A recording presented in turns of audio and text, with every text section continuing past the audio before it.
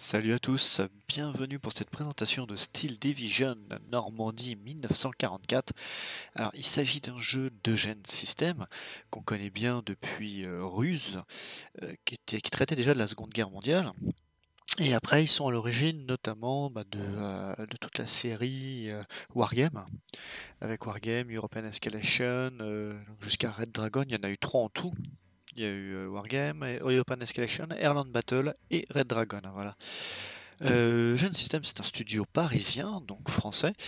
Et là, du coup, ils reviennent sur la Seconde Guerre mondiale avec euh, la Normandie. Donc depuis le débarquement euh, de juin 44 jusqu'à la chute de l'Allemagne. Et comme c'est un studio français, nous avons la chance de pouvoir jouer dedans donc la deuxième DB française des forces françaises libres. Euh, donc euh, évidemment on a euh, américains, anglais, on a même des polonais, des canadiens, et puis forcément en face hein, les allemands. Donc extérieurement euh, ça ressemble beaucoup à Wargame, hein.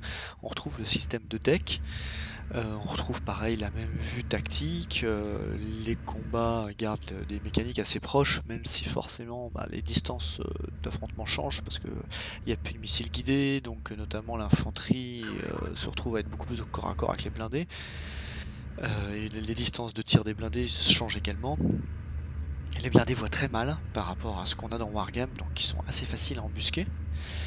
Mais euh, globalement, bon, on reste quand même sur quelque chose de connu.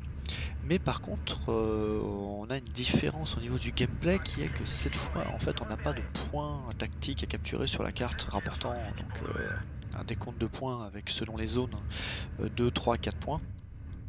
Là, on a un front qui avance, donc on a quelque chose de beaucoup plus cohérent. En fait, quand les deux équipes progressent, elles déplacent le front sur la carte et on gagne des, points, donc des ressources qui permettent d'appeler des renforts euh, par en fait un minuteur qui au bout d'un certain temps, j'avoue que j'ai pas noté le nombre de minutes, euh, vous attribue un nombre de ressources. Et ces ressources en fait vont dépendre de, euh, votre de, enfin, de la division que vous avez choisie. Par exemple, typiquement la deuxième DB gagne beaucoup de points en début de partie, donc est, est idéal pour rusher, et progressivement on gagne un peu moins. Là où on a des divisions blindées, comme par exemple certaines divisions Panzer allemandes, qui vont gagner peu de points au début, mais qui vont gagner beaucoup plus à la fin, et qui vont permettre d'apporter des unités puissantes. Parce qu'il faut savoir, c'est que le combat se déroule en trois phases, donc euh, phase 1, 2 et 3, et à chaque phase, donc le pool de points attribués est différent euh, pour chaque division présente sur la carte. Alors on peut se retrouver euh, en fait à perdre uniquement parce qu'on a perdu un peu de terrain, c'est-à-dire que dès qu'une équipe contrôle euh, plus de 50% de la map, elle commence à engranger les points.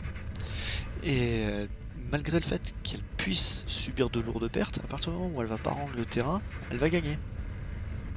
Donc c'est beaucoup plus intéressant tactiquement que le système de contrôle de petites zones sur la map qu'il y avait précédemment. Donc ça vous oblige à jouer euh, donc à, une guerre de terrain. Est-ce que vous allez vouloir prendre toute la map ou est-ce que vous allez essayer d'asseoir vos positions? C'est très très intéressant. Également par exemple on a des divisions euh, américaines par exemple britanniques, il y en a plusieurs, donc de même pour les Allemands, mais chacune ne va pas pouvoir appeler les mêmes unités. Euh, une unité de para va forcément avoir plus d'unités d'infanterie spécialisées, euh, donc des, unités commando, et également donc avec euh, beaucoup d'unités euh, aériennes. Alors elles auront plus de chasseurs, plus de bombardiers, par exemple, qu'une unité blindée, qui va elle avoir un panel de chars euh, bah, plus important. Du côté du solo, par contre, on retrouve des campagnes linéaires. On a pu, comme dans Red Dragon, euh, cette campagne dynamique où on pouvait attribuer nos objectifs. Ça paraissait logique puisque la Seconde Guerre mondiale, hein, chacun sait comment elle s'est jouée. Euh, pour le solo, moi je reste toujours un petit peu déçu. hein, C'est pas le point fort de Gen System. C'est vraiment un jeu donc euh, qui se prête plus au multi et qui tactiquement est assez intéressant en multijoueur où on a vraiment une bonne complémentarité à développer entre les joueurs, à avoir des vrais pushs sur le front, savoir est-ce que une zone je la, je la tiens et je cherche plus à avancer mais je vais défendre et je vais aller aider mes potes à faire un push euh, bah, à un autre endroit de la map euh, où on sent qu'on peut percer puisque on va gagner des points donc en faisant avancer cette ligne de front et pas en décimant l'ennemi. Donc euh, même si de votre côté, en fait, euh, vous massacrez les troupes ennemies qu'on vous envoie, si vous progressez pas, ça n'a aucun intérêt. Donc pour le coup, euh, je trouve euh, cette formule euh, bah, nettement plus intéressante. Et bah, de mon côté, je pense que je vais passer nettement plus de temps sur ce style, j'allais dire Wargame. Je vais passer plus de temps sur ce style Division Normandie 1944 que j'en ai passé en fait sur les Wargames. Voilà, tout simplement à cause de ce tout simple ajustement de, mode de jeu. Et ben je vous remercie, euh, si cette vidéo vous intéresse, vous me mettez un petit pouce, et ben, je vous dis à très bientôt.